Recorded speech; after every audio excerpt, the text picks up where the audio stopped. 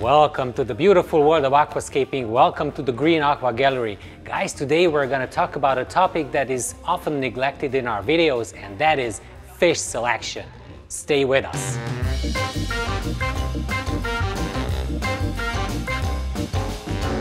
So why do we neglect fish selection in the first place? Because usually we do aquascaping videos, we do the tanks, we set up the tanks and then we fill them up with water. Obviously we cannot introduce the fish from day one. So the fish selection is something that needs to be done after the scape is ready because we ideally want to do something with the fish uh, that should match the scape itself. So I'm usually waiting one or two weeks after the, the scape is finished and the plants start to grow and then I'm going to decide what's going to happen. And I know that this is the same with Tommy. So usually the creator of the scape will decide what kind of fish he or she wants to use in the scape for the long run. But Laurie, our fish expert, is always helping us and he's always making suggestions as to what kind of uh, you know, fish we want to use and what are the novelties, what's available at Green Aqua uh, what's missing at Green Aqua because not all fish are available all the time. In contrary to the popular belief, aquascaping is not about plants, it's not about rocks, it's about the harmony of plants, fish, and the hardscape itself. So we ideally do not want to neglect this topic. So Let's go and uh, I'm gonna take a tour of the gallery with Chubby here having a seven kilo camera. Check this out. Let's do this whole thing in order of appearance. I'm gonna show you the first tank, which was built by me. This is a Brazilian type of tank. It has all the nice and red plants in the background, and I'm going to have a little cheat sheet here with me because I'm not sure that I know all the name or the Latin name of the fish. Well, this is easy because we've got the blue neon tetras, which is the Paracheirodon innesi in this tank. It's a beginner's fish. They do shoal together. They do swim together quite nicely. They usually swim in the middle, as you can see, or swim at the top. They don't usually go downstairs. The second tank is Tommy's Iwagumi tank. It's a great Frodo stone tank with just a couple of plants, foreground plants mainly, and some mosses. And we've got two types of fish in here. We've got the white cloud mountain minnow, and this is the uh, Tanichthys albonubes.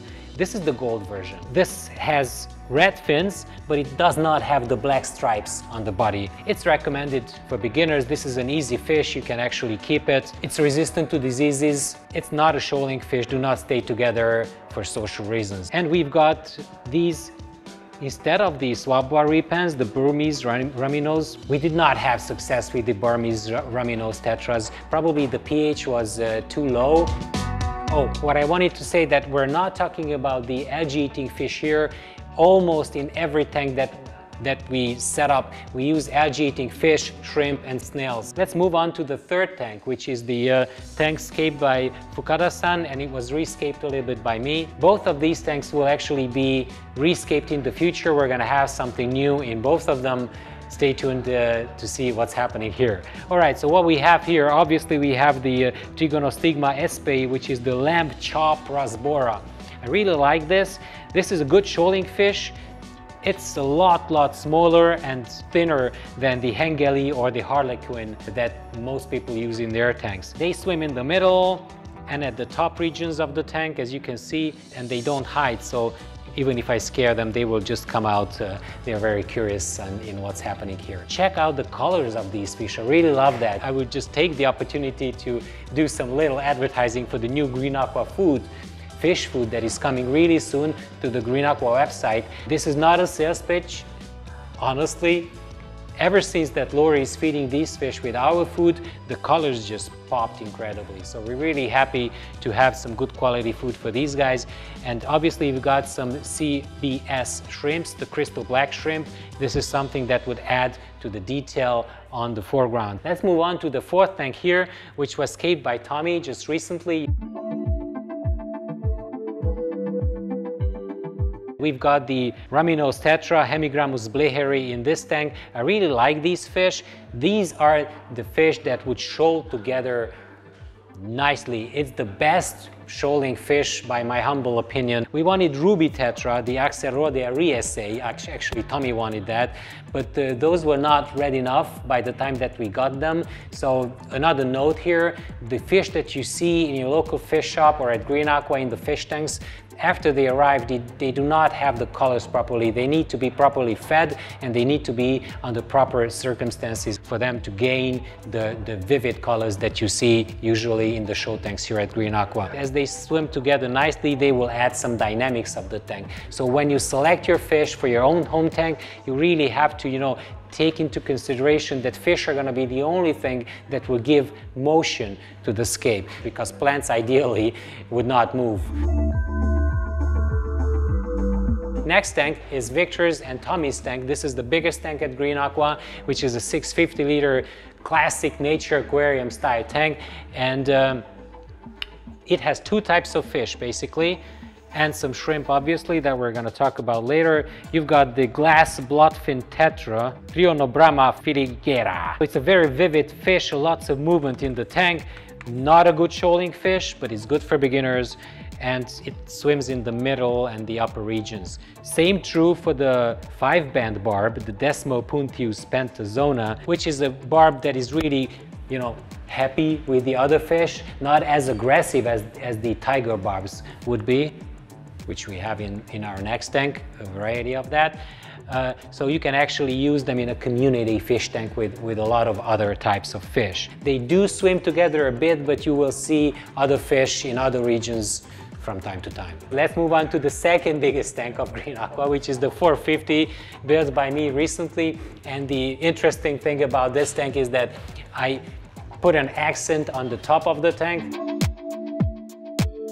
And I wanted a scape that is a very natural looking scape. It's like an underwater forest here. And this tank is actually I'm very proud to say one of the favorites uh, of the Green Aqua customers here. And we've got a special variety of tiger barbs here, which can be real assholes sometimes. So it's not recommended for them to be kept with other fish. It's called the Puntius tetrazona var platinum. So this is the platinum version. This one, as you can see, it's a yellowish color, but it, you know, it stands out from the scape quite a lot, so it will add a lot of movement. They swim together quite nicely here, and even the algae eaters would swim together with them, which is quite nice. Actually, Lori here has written that it's not a shoaling fish, swims everywhere in all regions, but as you can see, in this quantity for some reason. Maybe they're just, you know, hungry. This was it for the biggest tanks of Green Aqua and let's move on to the next tank which is the, uh, Chavi, can you move on? This is the paludarium here. This is Tommy's favorite fish selection, just two types of fish. One of the fish is the amber tetra, and the other one is the Kubotai rasbora, the Hyphessobrycon amandae and the Microdevario kubotai. One of them is really green, and I think that this is the only greenish tint fish that I know. The other one is red and compensate each other quite nicely and Tommy wants to use these guys all the time in big numbers in their iwagumi. These are small fish so they can be kept with shrimps as well. This one has the dragon stones and it has the cold mist coming up through a hose and you've got a waterfall that is watering these uh, Utricularia graminifolia plants, which are carnivore plants actually. I want to talk about the favorite Danios of my childhood. The uh, zebra fish, Danio rerio, is the long-finned version that I have here. It's not distracting the view from the scape because their colors would not pop out and you know, why is this my favorite fish from the childhood? Because I really like the way they move. So they kind of start to move very dynamically in one direction and then suddenly halt, and then they will start turning around and go to the other direction. I really like these uh, varieties of fish and I could just observe them for hours. Talking about what kind of fish are suitable for aquascaping. I would say that most small fish that would not harm or eat the plants like cichlids would. The exception is dwarf cichlids. But other than that, you know, you don't want to have fish that are too big. If you have those, eh, those would distort the scale of the tank.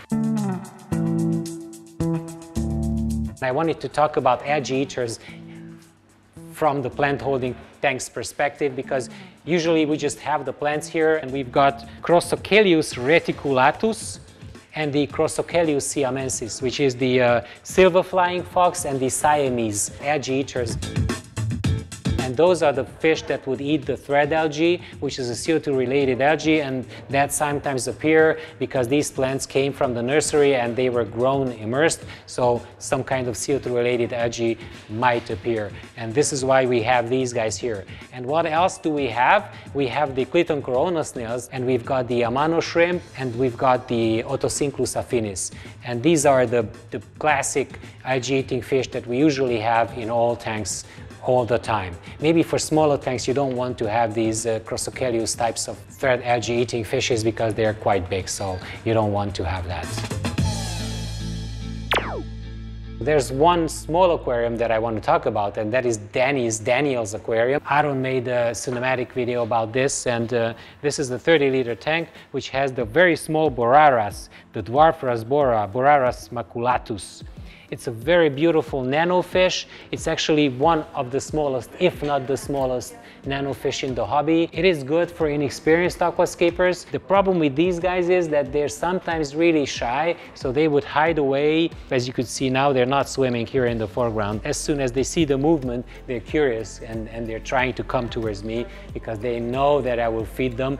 But otherwise, talking of food, you will need to give them like nano fish food, which means that the grain size of that food should be really small. And this is something that many beginners do wrong. They would buy like a general fish food good for the uh, red neon tetras or something else, but they would try to not crush it and just feed it to these guys.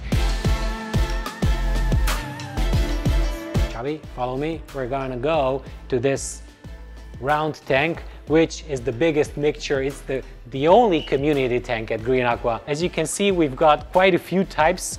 Let me see what I have. A big mess. Three spot gouramis, pearl gouramis,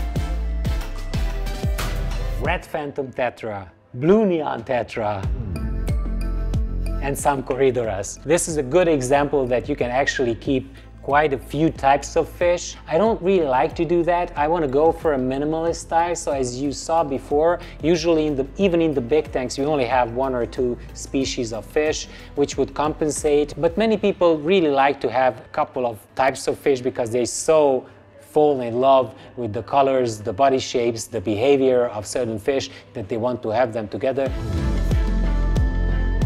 This is tank number 15 with the black neon tetras, the Hippesobricon Herbert Axelrodi, which is a classical nature aquarium style fish.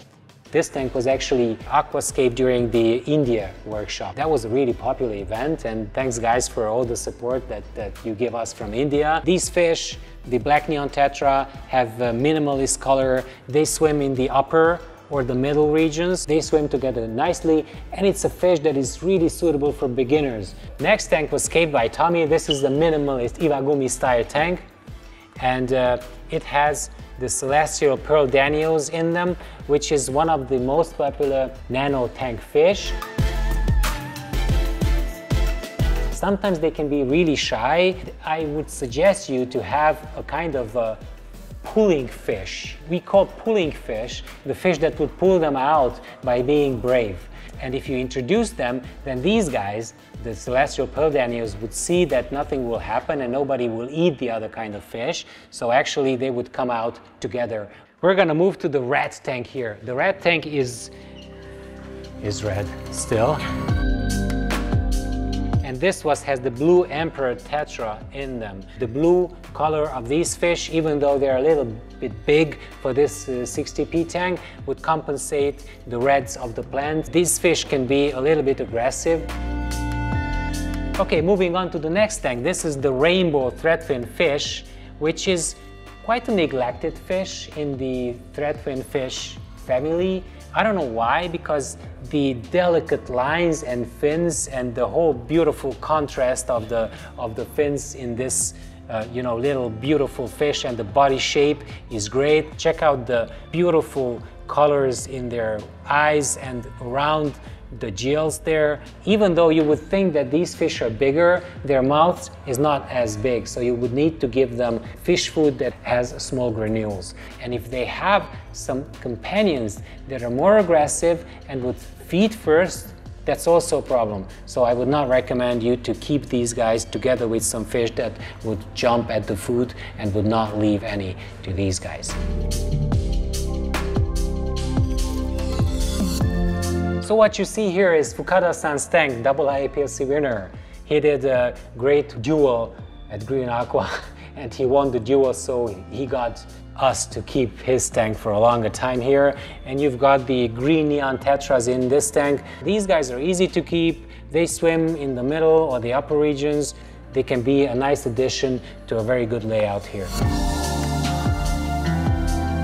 There are golden tetras in this tank you don't see them because they hide in this little valley in there and they never come out so you would need to get some pulling fish probably to pull them out. The shiny color in nature is actually protection against the type of worm that they can get.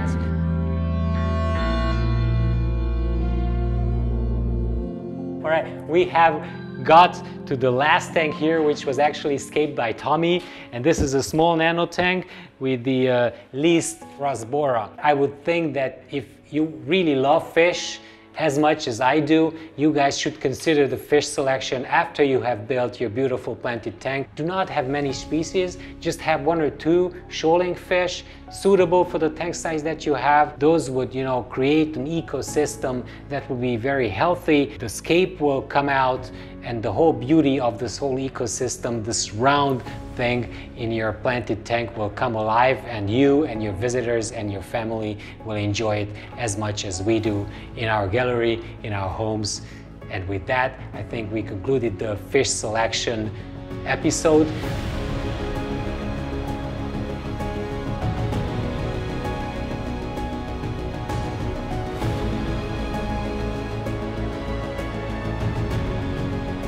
Let us know what kind of fish you have at home. I'm sure I missed a lot of types of fish that, that we use here. Let us know what we missed and maybe we will do another episode the, the next time and we can use those types of fish that you suggested us to have in one of the next bills perhaps. All right? Don't forget to subscribe if you didn't do so yet. Don't forget to hit that bell button to get notified of our future uploads. This is very important for you to even know that we uploaded a video. And don't forget that we have the membership through which you could support the video production of this channel. All right, we'll see you next week. Bye.